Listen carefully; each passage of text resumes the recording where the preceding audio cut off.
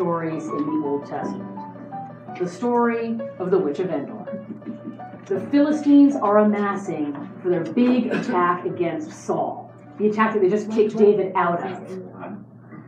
And Saul is terrified. Saul asks for direction from the Lord, but God isn't answering him. Not by dreams or signs or priests or prophets, not at all. Why do you think that is? Let's look at it this way God is incredibly merciful. Does God accept deathbed confessions? Yeah. Absolutely. So why is he not communicating with Saul? A lot of times we get to use the details to kind of read into the state of people's hearts here. And I think what we're reading about Saul is Saul, all these years, has had his mind set on doing what he wanted to do. For years and years, he asked Samuel, What does God want me to do? And Samuel would tell him, and Saul would go and do something different. And so now, God stopped heaping coals on his head, shall we say. God had stopped telling him. Because even if he told Saul, Saul wouldn't do it. And Saul, in his insecurity, gets truly desperate. And he thinks, Samuel. Samuel always knew the right thing to do. I need to ask Samuel. Now, Samuel had died a few years back. Mentions it in the text right before David marries Abigail. So, Saul orders his servants to find a medium who can summon up Samuel from the dead. you know this is not going to end well. Saul and two men go to visit the medium by night. The medium, not recognizing him, says, King Saul has cut off all the mediums from the land. You know, what are you asking of me? You're trying to get me killed? But Saul swears by the name of the Lord that she will face no punishment. And he waves a bag of gold in front of her, presumably, and she says, Who would you like me to summon up? Samuel. And the medium sees Samuel rise up from the ground. At this point, the medium is given to understand who her client is. She screams, You have deceived me! You are Saul! Saul replies, don't be afraid. What do you see? She says, I see a god rising up from the ground, an old man wrapped in a robe. Saul senses him too. His hair stands on end, bows low to the ground. And Samuel says to Saul, Why have you disturbed me by bringing me up? Saul says, I am in great distress. The Philistines are warring against me, and God has turned away from me and does not answer me. Samuel replies, if the Lord has turned away from you, why are you asking me? the Lord has done to you exactly as he promised. Because you did not obey the voice of the Lord, he has taken the kingdom out of your hand and given it to your neighbor, David. And tomorrow, the Lord will give Israel into the hand of the Philistines, and you and your sons will be with me. See you tomorrow. and Saul collapses to the ground. All his strength is gone. When people read this passage, they often want to know what's really happening here? Is the medium a con artist? Is she imagining this? Or is the ghost of Samuel actually rising up from the ground? There's every reason to think that this is a real medium and that this is the actual spirit of Samuel speaking. Sounds just like him, for one. But God allows this to happen. The occult is real. And when people dabble in it, they risk dabbling in demons. People in this situation need to renounce evil and turn back to God. I've seen this firsthand.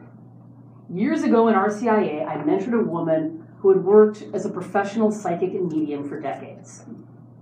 I got to hear her story, talk with her, pray with her through every step of her recovery.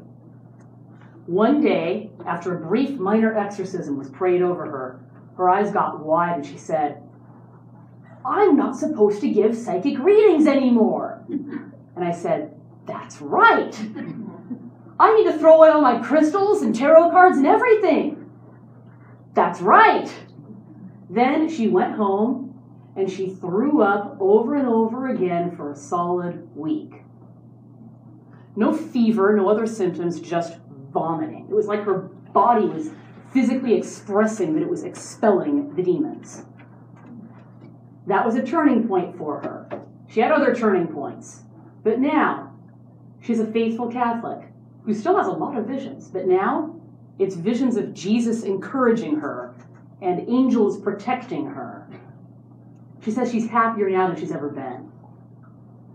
People who are drawn to the occult need to realize that demonic spiritual experiences sound exciting, but they make you feel like you're run over by a truck. And they make you crave power, so you want to do it more and more. It sucks the life out of you. It's a counterfeit for true spiritual experience, the kind that comes from God. Encountering God's presence in prayer gives us life, joy, peace. God infuses goodness into our hearts. God gives us the Holy Spirit. God recreates us in his image. He's water for our thirsty souls. something the devil can never fake. It's just, I think it's something that's more common today than it has been in a long time, and it's something that is too little preached on. Those things absolutely happen. And good these when they are good, they are spiritual gifts that come from God. Just like God gave Samuel the prophet to foretell the future. God can and does give people premonitions, nudges, ideas that, oh, I need to do this, ideas that something is not right with my friend, I better call them. Stuff like that happens all the time. Things like that, they're from God. They're spiritual gifts. Once early in my Catholic conversion, I had a dream about a Dominican nun, a small woman with beautiful light just shone from her. And I, in the dream, I poured out my heart to her. I'm thinking about converting to the Catholic Church, but what's it going to do to my family? And after I told my story, I listened to what she had to say, and she said, Have you ever considered developing your psychic powers? Even in the dream, I knew something was wrong. the devil wasn't very subtle that time around. It's not the most obvious it's been. All right, let's keep going. The next day, King Saul watches as Jonathan and two of his other sons are killed in battle. Our sins affect the people we love. If Saul had followed God, Jonathan would have made a great king. Instead, Jonathan dies young, but God still gives him one of the best supporting actor roles of anyone in Scripture. And after Saul watches his sons die, he is wounded himself and he runs himself through with his own sword. Two days after David and his followers return to Ziklag after rescuing the kidnapped women and children, a messenger arrives to tell them that Saul is dead.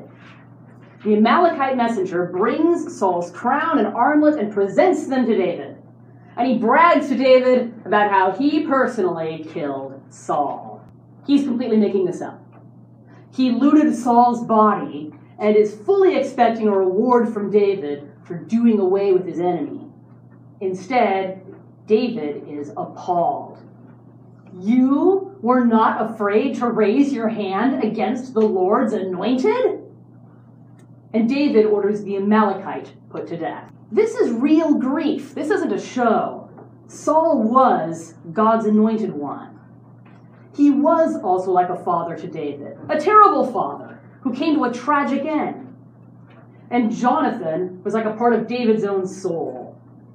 So David takes time to grieve. He writes a song to commemorate them and orders that it be taught throughout all of Judah.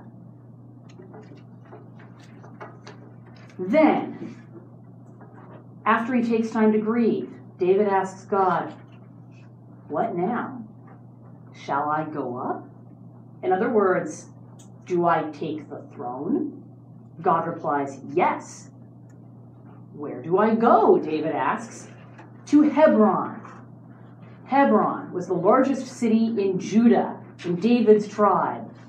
And there in Hebron, the leaders of Judah, the tribe of Judah alone, anoint David king. I'd like to pause here and point out that fairly often in the story, David asks God for advice. Can you think of some other times David asked God for advice? Shall we go liberate the city of Keilah from the Philistines? Shall we shall we go rescue the wives and children? Can we can we find them? And there's more times going forward in the story when David is going to ask God what happens next. And God answers him. Last week, some people were wondering whether David, David gets that kind of guidance because he plays a special role in salvation history. And it's true, David plays an absolutely unique role in salvation history. But is that why God gives him that kind of guidance? The answer is no. Solomon tells us, In all your ways acknowledge God, and he will direct your path. He's not writing to David or about David, he's writing to all of us. Isaiah tells us, Whether you turn to the right or to the left, your ears will hear a voice behind you saying, This is the way, walk in it. And Jesus tells us, My sheep hear my voice. I know them, and they follow me. What are ways that we can hear God's guidance? We've already heard uh, the example of King Saul about how not to inquire of the Lord. How do we inquire of the Lord? Read the Bible. Read the Bible. A plus answer. Pray. Pray. Go to church. Go to church. God speaks at Mass. God speaks through the readings. God speaks through the homilies. God speaks everywhere. Listen. Listen. Do Yes. devotions. Events in your life. Do personal devotions. Yeah. Set aside a good prayer time for just listening to God or hearing from His Word. Is it a psalm or whatever that says seek the counsel of every wise person or something to that effect? Yeah, exactly. The people around us. I'm act- I actually was going to get to that as a point later on. That uh, who are the people we listen to that are the voice of God in our lives? Lives of the saints is absolutely a way God speaks to us. I know for me that's especially a way. I find when I read the life of a saint, I start to notice the patterns in my life of uh, how my how, what this saint has to teach me about my life right now. There's always patterns. Oh yeah, I have written here. How can we hear God's guidance? The Bible, daily mass, other devotional books, personal prayer, including all kinds of heart nudges, coincidences, and experiences. Priests and prophets, people who are the voice of God in your life. A righteous family member, or a friend, or ordained minister. And for me, it's very often my husband. God really does lead us to other righteous people. So all these ways that you can hear from God and cultivate the ones that especially work for you.